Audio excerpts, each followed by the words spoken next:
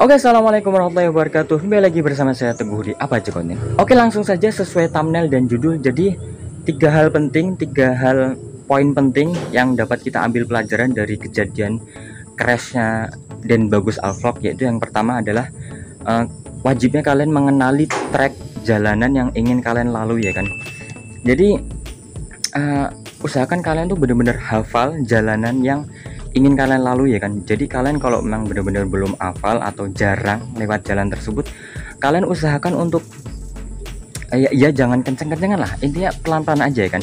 Akan tapi kalau kalian emang udah terbiasa setiap hari lewat situ ya kan ya kenceng-kencengan nggak apa-apa. Akan tapi tetap waspada ya kan. Ya namanya di jalan ya kan.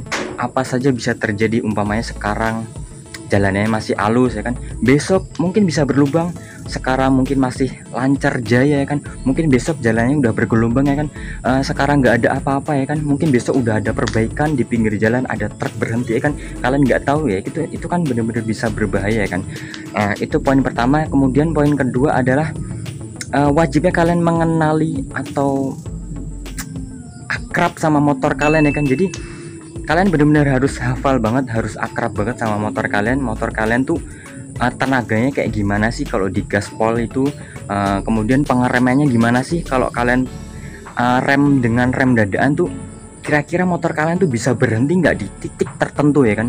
Jadi kalau motor kalian yang cc nya rendah ini sedikit berita gembira kepada kalian ya kan? Ya karena emang nggak terlalu ngefek bukan nggak terlalu ngefek sih.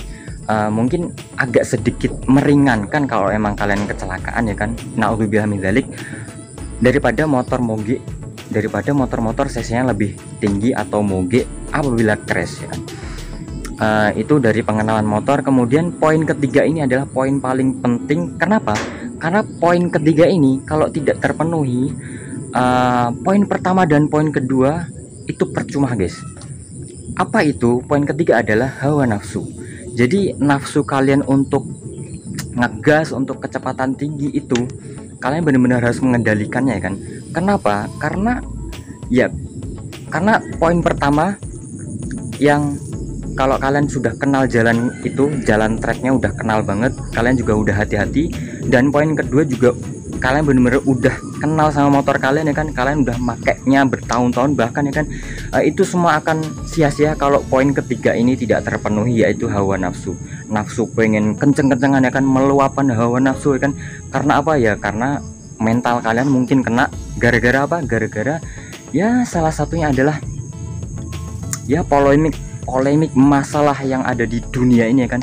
Apa pun itu masalahnya entah itu hutang entah itu diceraikan ya kan? Entah itu di PHK atau tertipu atau kemalingan atau masalah keluarga diusir dari rumah apa pun itu ya kan yang mengganggu mental kalian sehingga nafsu kalian tinggi untuk kebut-kebutan di jalan ya kan. Jadi itu sedikit tips ya kan dari saya bukan tips sih. Itu sedikit sharing-sharing aja yang saya ketahui ya kan. Jadi apabila ada yang salah silahkan dikoreksi di kolom, di kolom komentar. Dan apabila kalian ingin menambahkannya kalian juga bisa tulis saja di kolom komentar ya kan? Jadi saya ulangi lagi poin pertama adalah kenali track. Kalian harus hafal tracknya. Kalau kalian sudah hafal kalian juga harus tetap hati-hati. Poin kedua adalah kenali motor kalian. Gimana sih tenaganya kalian harus kenali? Gimana sih pengeremannya kalian juga harus mengenali kan? Kemudian poin poin ketiga adalah yang paling penting adalah hawa nafsu. Jadi kalian benar-benar harus mengendalikan hawa nafsu kalian.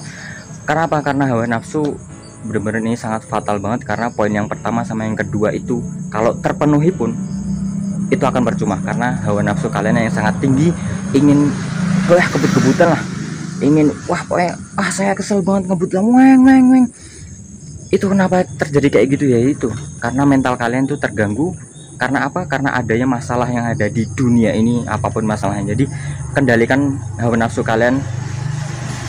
Ya mental kan juga harus dijaga ya kan? Agar itu semua terpenuhi dan agar dan agar kalian semua uh, selamat di jalan safety.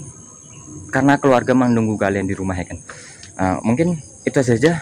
Sedikit tips sedikit gambaran sedikit share sharing sedikit sharing dari saya kan? Tentang apa yang saya ketahui dari kejadian crashnya dan bagus Alfok ya kan?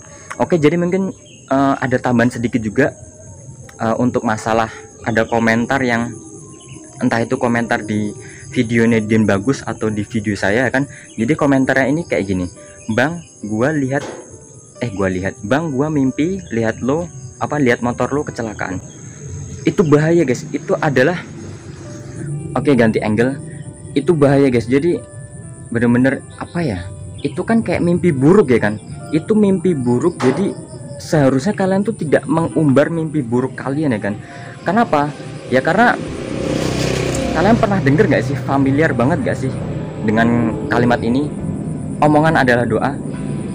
Iya kalian akan kalian bakalan sering denger guys. Omongan adalah doa ya karena emang dalam Islam memang bener omongan itu adalah doa. Jadi kalau kalian mengumbar mimpi buruk kalian entah itu dengan omongan entah itu dengan ketikan di jari komentar atau apa pun itu itu kan termasuk dibilang omongan termasuk ke dalam omongan ya kan? Nah karena omongan adalah doa berarti secara, secara tidak langsung kalian mendoakan kejelekan kepada orang. Kalau kalian mengumbar mimpi buruk kalian ya kan? Jadi seharusnya memang mimpi buruk itu jangan diceritakan apalagi mimpi buruk tersebut menyangkut kepada orang lain ya kan? Jadi ya simpan aja lah simpan aja. Ya kalau emang kalian nggak tahan pengen cerita ya minimalnya kalau emang udah bener-bener kejadian baru kalian cerita ya nggak apa-apa ya. Akan tapi kalau emang itu bener-bener belum kejadian kalian bener-bener jangan cerita guys. Kenapa? Ya karena dengan kalian mengumbar mimpi buruk kalian itu termasuk jadi kalian mendoakan hal tersebut menjadi kenyataan. Kenapa? Karena omongan adalah doa. Dan sebaliknya kalau emang kalian mendapatkan mimpi yang bagus seperti contohnya um, yang ini itu saya dapat komentar dari salah satu video saya. Eh lupa. Ini video saya atau videonya dan bagus saya lupa. Jadi komentarnya gini bang gua lihat lo udah nikah. Kayak gitu nggak sih? Pak intinya bang gua lihat lo nikah. Itu kan kayak mimpi bagus kan mimpi kayak eh udah nikah nih kan ya itu nggak apa-apa diumbar nggak apa karena dengan kita mengumbar dengan kita mengomongkan kepada orang dengan kita berkomentar kepada orang itu akan termasuk menjadi omongan. Yang secara tidak langsung omongan adalah doa. Yang secara tidak langsung lagi kita telah mendoakan orang kebaikan. Yaitu apa? Nikah ya. oke jadi mungkin itu saja sedikit sharing-sharing dari saya dan juga sedikit masukan dari saya. Jadi mungkin cukup sekian dari saya dari video kali ini. Apabila kalian suka dengan video ini apabila kalian terhibur dengan video ini apabila kalian mendapatkan informasi yang baru dari video ini apabila kalian mendapatkan gambaran yang sedikit cerah dari video ini kan oke jadi oke jadi kalian bisa like aja. Bagi yang nggak suka di dislike aja nggak apa-apa. Jangan lupa komentar dan yang paling penting adalah subscribe. Karena subscribe gratis dan karena subscribe menguntungkan buat video. Oke sampai jumpa di video selanjutnya. See you guys see you. Bye bye